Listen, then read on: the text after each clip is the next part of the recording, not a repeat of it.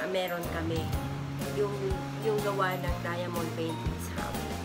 Kasi marami kami client na umorder sa amin because of hassle-free and of course, the client satisfaction is guaranteed talaga yung mga design po ng mga frames, ipapakita ko din dito sa video na to. So, yun. Uh, for today's po, ang size na meron tayo na available is 30 by 40. So, ito po yung ganito po siya. Actually, ito yung napili ko kulay. Ito yung available. But marami po kami uh, kulay lahat. Uh, depende. Depende kung depende sa design also. So, ganyan po siya. Ganyan. Yung style. And yung likod niya, yung likod niya, so ito na po.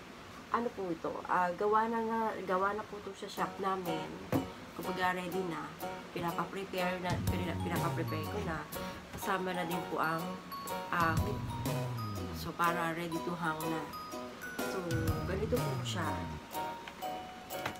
i-flip lang po ang mga Dixie boot.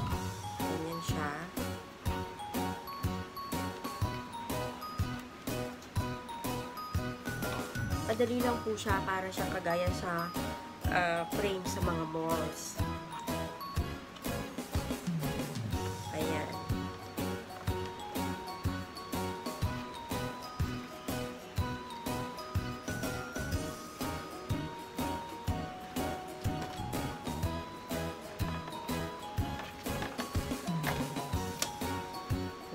which is ito po, plywood or the board.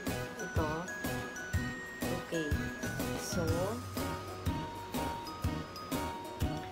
ang sunod po is the matting. Yung matting po namin is may gold strip na. May gold strip na siya. Depende po. Meron kasing uh, silver ito. Kung gusto nyo silver, depende sa sa gusto ng client. And also the matting po depende kung anong gusto nyong color and design. So, may mga designs po ito and colors available. So, depende po sa inyo kung anong gusto nyong kulay ng matting. Or, depende din po sa inyo kung papalagyan nyo ng matting or hindi. Kasi mostly kasi po, yung mga malalaking frame, wala na silang matting. Hindi na sila kailangan ng matting para ang ang matin lang is uh, applicable lang siya sa mga medyo maliliit na size. Ayun. And yung ano na po, yung salamin. So salamin na po siya, salamin na yung sunod. So depende naman po sa inyo kung uh, lilinisan pa siya. Kasi pwede namang punasan nyo ng tissue or kung anong tela pwedeng panglinis.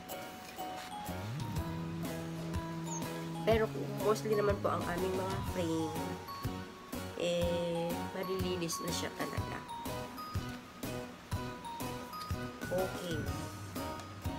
So, balik ulit po natin ang mat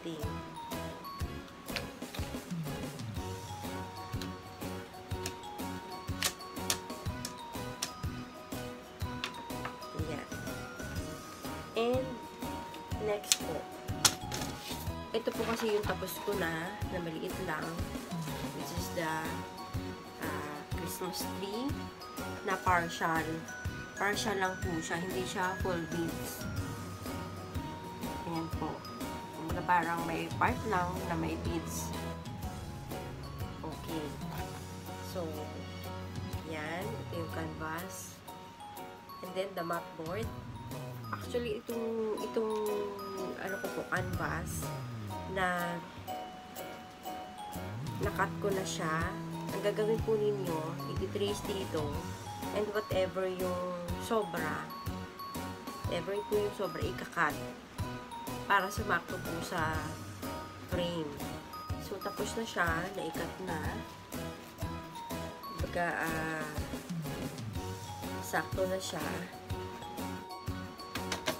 Ipa-flat na po yung canvas. So, ito na po yung matting. Frame and the matting. And then, sunod po is yung the canvas na. So, nalagay natin.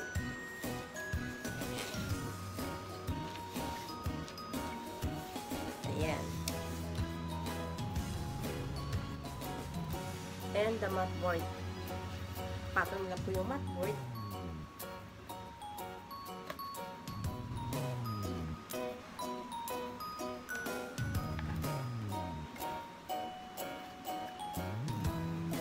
Okay. So, nailagay na po natin ang mat board. Ito na.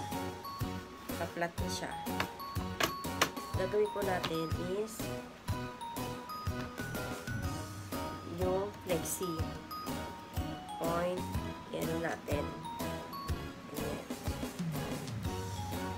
Isa-isa. Lahat.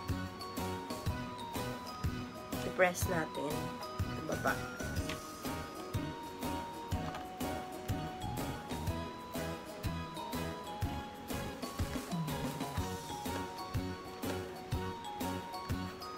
i-sure lang po talaga yung naka-secure at naka-flat siya para yung canvas flat na flat po yung outcome niya walang gusot-gusot double check lang po ang mga flexi hook ayan. So double check natin kung okay ba siya. Kung okay ba pagkalatag niya. Uh, flat. So, yan po siya. And after, na okay naman po siya, gagawin ko, depende lang din naman po kung sa inyo, this is uh, an optional. Kailangan ko ang craft tape. Craft tape is for dito, pagtakip, pagtakip po sa mga flexi hook. Tatakpan lang. Pero pwede man po hindi. Pwede hindi takpan.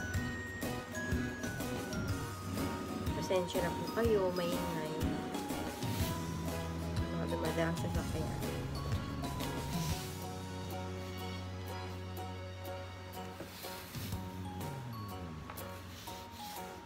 Lagyan lang po lahat ng side Ay. Pensya na po. Mga aso kumakahon.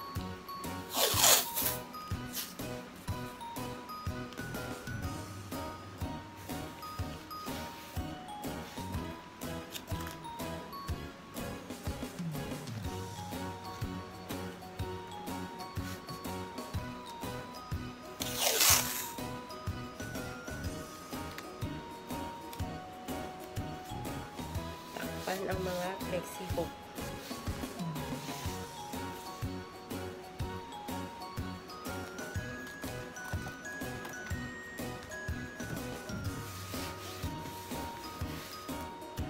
So, ayan na siya. Ayan. Ganda na. Ayan na. Okay. And then, since ihahang ihahang na natin siya, lalagyan na natin ng tali. Kasi because of the hook po kasi, ah, hindi kami nagla naglagay dito. Kasi minsan, tumatabingi pag ikinakabit na natin, sinasabit. So, ang ginawa namin, mas maganda yung magkabila, may hook, and then lalagyan ng tali para kahit papano kahit galaw-galawin po natin. Mas madali lang. Mas madali siyang i-align. Okay, lagyan po natin ng tali. Tsaka mas matibay po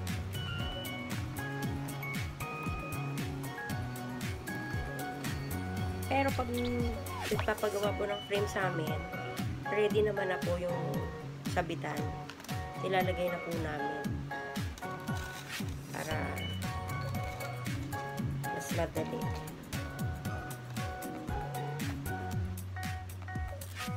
Hassle free na siya.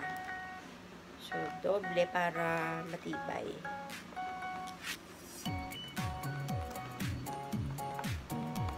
Dapat po ganyan lang. Ayan.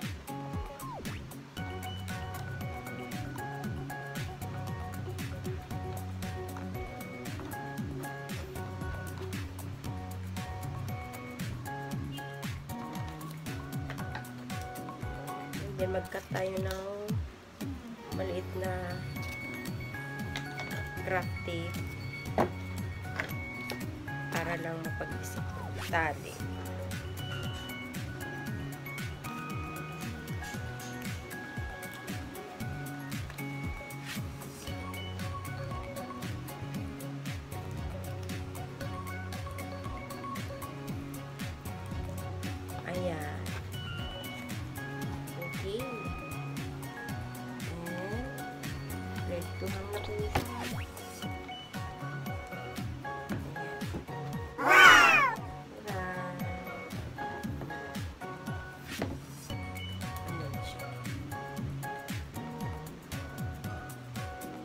Christmas everyone!